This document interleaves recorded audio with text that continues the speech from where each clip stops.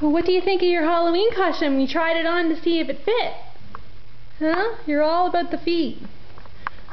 We're going to have to get you some black pants and a black shirt to go with your bat costume. Say hi. Say squeak, squeak, squeak. What does the bat say? All about the feet. Those feet are kind of cool, huh? Jack, smile. Hey, smile. Smile for the camera. Smile for me. Smile. Hey, Jack. Jack. Are you excited about trick-or-treating?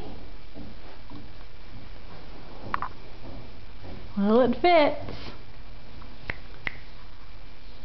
Hey, Jack.